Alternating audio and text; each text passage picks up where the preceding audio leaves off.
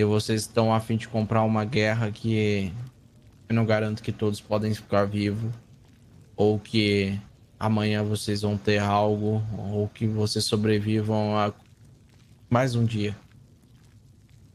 E realmente a gente vai ter que lutar com o que tem. E hoje o que a gente tem é vocês. Eu não posso envolver mais ninguém. Não posso perder mais ninguém. Eu só posso envolver vocês aqui porque vocês indiretamente já se enfiaram nessa merda. Tô aqui pra isso. Você É isso. sim. E o restante? Com Opa, certeza. com certeza. Tamo aqui. também. Sempre Com pronto. certeza. Vamos que vamos. Os- Vocês estão dando um tiro no escuro. Aqui é Eren, Vocês não chefe. sabem o que, que vai passar. E vocês não sabem o que pode acontecer. CJ, vem até aqui. Ai, pronto. Oi, chefe. A sua missão era mais simples. Pode vir até aqui também, Conan. IRC. Certo. Vocês três tinham uma missão muito simples a ser executada. Mas vocês complicaram ela um pouquinho. Posso contar com vocês? Com toda certeza. Com certeza. Pode sim. São minhas últimas fichas que eu aposto em você, CJ. Certo. Aí, eu não vou te decepcionar, Sr. Boltz, prometo. Tá? Posso contar com a equipe Rocket? Sim. É isso. Então, olha pra sua equipe então. Sua equipe cresceu. É disso que eu tô falando, Cono. Pera aí, eu não entendi. Eu Todos mesmo. esses aqui vão completar a equipe de vocês hoje. Não é mais vocês três. Só vocês três não vai ser Pera, parte pra você também? O mexicano também? Ela também? Ele também? Eu não acredito acredito nisso. Todo mundo? Essa porra aqui tá bom demais. Eu vou bater palma, foda-se. Tipo assim, significa que a gente vai ter na equipe, então, esse armamento aqui? Coisas do tipo aquele helicóptero ali? Você acha que o Boltz brinca em serviço? É. Eu não sei A quem gente é o vai vir inimigo. forte demais? Dá pra vocês ficarem calados um pouquinho só? Com Verdade, certeza, é porque eu tô empolgadão. Desculpa, chefe, mano. Eu tenho uma dúvida. Diga, mexicano. Tem uma coisa que eu percebi que a gente não tem, acho que a gente deveria ter. O quê? Um grito de guerra. Não, Lasanha. mexicano. Não. Eu- Primeiro que Lasanha. você. Dois, três, Lasanha! Silêncio. Eu gostei de lasanha. Lasanha! Lanchão. Dá pra fazer silêncio nessa porra? Sim. Com certeza. Desculpe. Vocês estão sobre. Cala a boca! Vocês, a partir de hoje, estão sob comando do CJ. E não tem mais. Disse-me disse, a partir de hoje, uma guerra tá lançada. Equipe Rocket, a responsabilidade de vocês é cuidar da La família. Certo. Pode deixar. Então, a partir de hoje está declarada essa guerra. E tomem cuidado com que vocês. o passo Pera, que vocês guerra? vão dar daqui pra frente. Então, é uma guerra, Sr. Guerra? É. É, guerra. Essa é a nova missão de vocês. Gostei, Tá. gostei, gostei. Ué, aí ficou pegado? Armamento, patrão, onde a gente arruma? É. Vocês já têm. Os Uma próximos guerra. passos. Vou estar discutindo com o CJ aqui e com vocês três, no caso, vocês repassem pra todos. Certo. Equipe Rocket, se prepara. Que vai começar a baguncinha. Lasanha! Lasanha! Lanchão. Tô fudido. Eu preferia sorvete, eu acho que um grito de guerra é mais legal.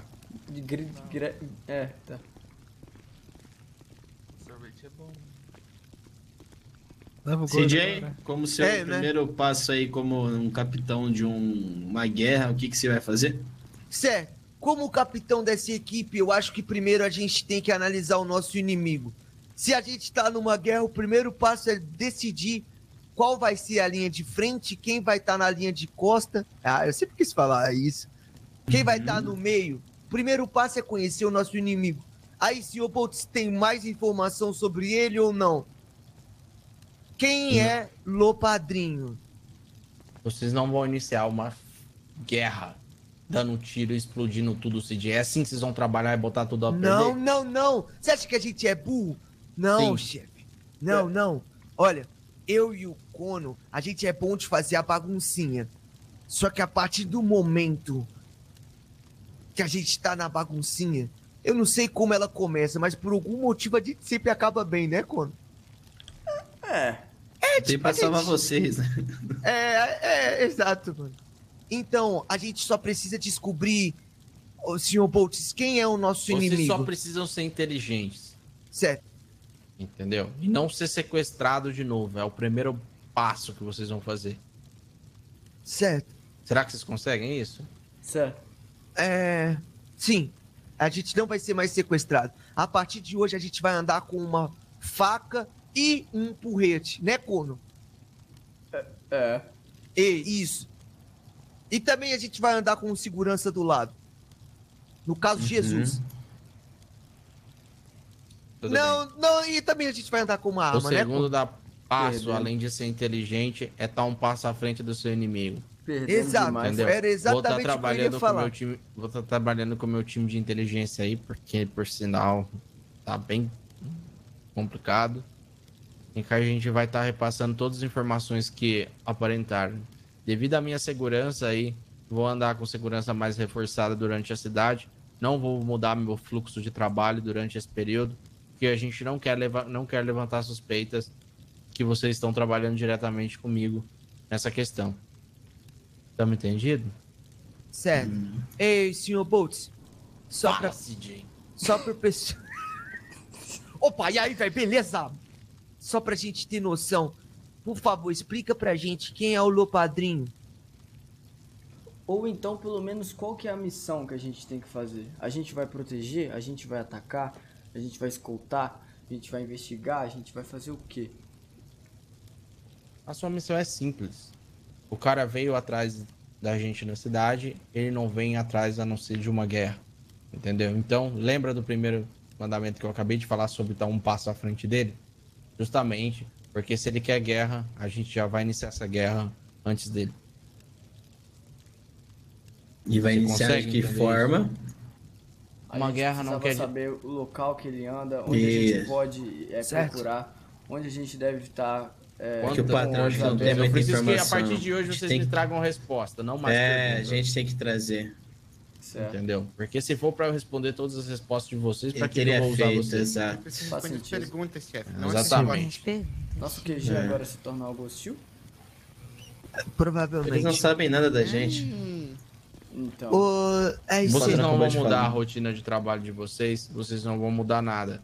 Simplesmente, vocês vão me trazer informações Certo, pra chefe. gente pensar junto em alguma coisa e, claro, sobre a liderança do CJ.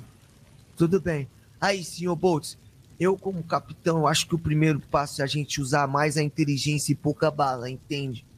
Isso aqui, se a gente exportar que a gente tem uma equipe ou a gente tá sendo a linha de frente do Boltz, pode ser que deixe vulnerável. Vulnerável. Nossa, mete que você tá uma bosta, o Tourette atacando. Mas isso, senhor Boltz. A primeira coisa que eu acho que você devia fazer, que você tá super certo, é dobrar a sua equipe de segurança. Vai por mim. Se esse inimigo ele é tão perigoso a ponto de te ameaçar ou colocar os planos da. Tá. E ele colocar os seus planos à, à prova, significa que esse cara é tão bom quanto o senhor. Então, a partir de hoje, todos vocês, ser discreto. Eu aconselho nem a gente andar com a roupa da Elements. Vamos andar com uma roupa como se fosse um código, entende? Pra gente saber quem é da equipe Rocket e quem é da Elements. Ou tá todo mundo da Elements aqui? Acordou Tá agora, mundo- CJ? Todo mundo CJ, da Elements, tá favor. arrumando? Eu vou ter que trocar o líder pra Solta um sol básico pra ele, Que por favor. cara? Não, não, não sou o básico, não, por favor. Eu tô achando que eu vou trocar o básico, líder e botar o Connor, viu? Tá complicado. Não, não, não, não, não, tô É, fora. Eu aconselho a colocar o Conan, mano. Ele é muito mais inteligente que eu, chefe. É. Connor, Quem pronto, vota você é o novo líder. Porra de teca foi esse, DJ? Parabéns, irmão! Bate aqui! mano, eu tô tão orgulhoso desse cara, mano. Parabéns, irmão. Pronto, De verdade. Connor, agora Você é o melhor líder, palavras. mano. Obrigado. Obrigado. Vai, capitão, por- fala. Faremos agora, Connor. Primeiramente, boa noite. Boa Meu noite, Deus, ele é perfeito. Ele é perfeito, meu Deus, é ele, mano. Sabemos que não sabemos ao certo o que sabemos. Porém, saberemos. Bravo! É disso que eu tô falando, porra. Parabéns, Cono. Obrigado. Eu concordo e eu concordo com você, inclusive te TJ. apoio. Não, que desculpa, chefe, foi o Torete.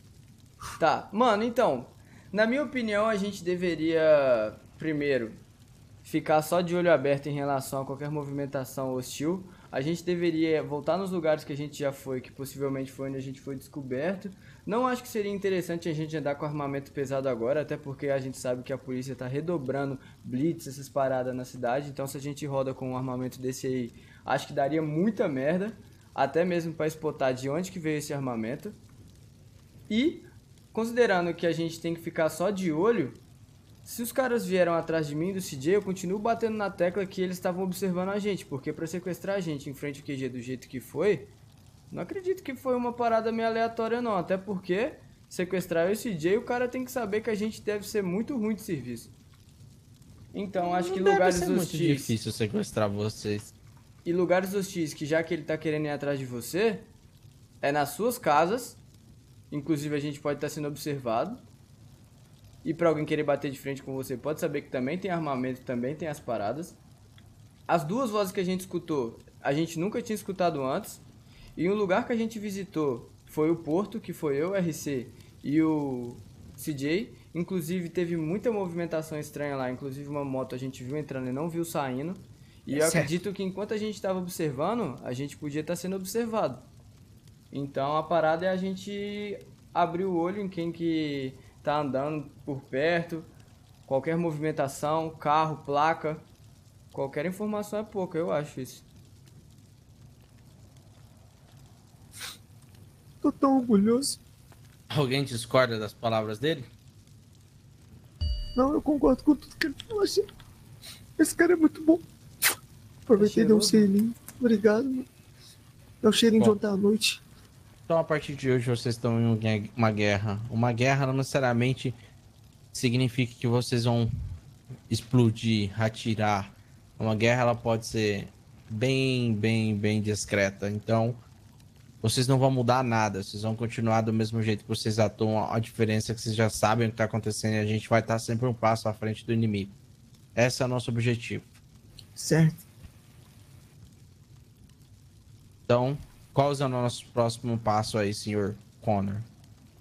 É, eu acredito que a gente tem que ver em relação a impostor, porque agora não é hora de confiar em ninguém, a não ser alguém que esteja nessa sala. Ué? Até mesmo qualquer informação que passa entre qualquer coisa ilegal, pode ser que tenha um inimigo do nosso lado e a gente não sabe. É verdade. Então eu acredito que esse tipo de informação não seria bom nem sair daqui, nem muito menos ser comentada, até mesmo com alguém que você pode ter confiança, chefe. Porque se o cara sabia onde que a gente estava, pode ser que você esteja sendo observado de uma forma que você nem imagina. Certo? Certo. Faz sentido, mano. Faz muito sentido, mano. É, Faz sentido pra caralho. eu acho que a gente deveria redobrar os olhos em relação ao porto. Que se você falou que é um lugar que você não O tem que, que comando vocês nenhum, estavam fazendo no porto? Porque o que acontece? Quando a gente conversou, eu falei que eu tinha algo relacionado para vocês e citei o meu carregamento no porto. Mas por que diabos vocês foram che- cheirar porto se nem lá era o lugar que eu precisava que vocês fossem? Então, quando você citou o Porto, a gente já imaginou que qualquer investigação que a gente conseguisse antes de começar o trabalho seria boa. Só que a gente não imaginou realmente que o trabalho não ia ser no Porto. Porém, quando a gente foi lá, a gente saiu com tanta informação que foi movimentação estranha, que logo depois que a gente se encontrou hoje, que você falou que não tem controle do Porto, bateu tudo. Mas se você achar que Entendi. o Porto não tá fazendo sentido Tá. nenhum com a história, a gente pode simplesmente sair Tá de bom, lá então e- vem vocês três lá na minha sala lá que a gente vai discutir essas informações então. Certo. Certo.